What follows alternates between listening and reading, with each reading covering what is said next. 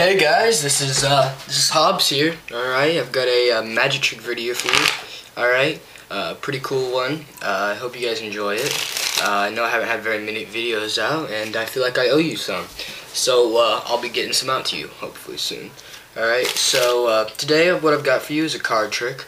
Um, I was really into coin tricks, but uh, I started to do card tricks. I think they're more fun actually, and uh, yeah. So uh, let's uh, let's begin. So uh, this trick is a, a street magic trick. All right, it is meant to be performed with people, uh, but in this case, it's just me in my room. So in case of a, instead of a person, I'm going to be using this uh, change box. It's just a little thing where you put your change in your wallet. All right nothing trick about it. Um, so we're gonna set that off to the side. And normally I'd be using their hands, okay? So uh, just bear with me and pretend that's a person, alright? So what I say is, uh, here I have the Joker, okay? And the Joker's a funny guy, and the Joker likes to play tricks on people, alright? Uh, jokesters, they're, they're tricksters, right? Okay.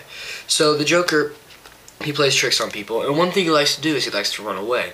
Alright, so I'm gonna set him right here Alright? And then what I tell them to do is he's in their hand and I want them to close their hand up and not let him run away. Alright? So all I'm going to do is I'm just going to take it. You see there's nothing there. I'm just going to set it over it. Alright?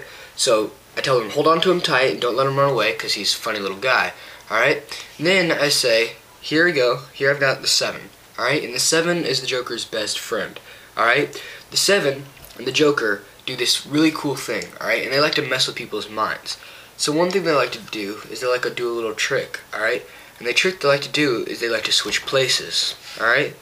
So then I ask them to go ahead and open up their hand, okay? And they open up their hand, and lo and behold, the seven is in their hand, alright?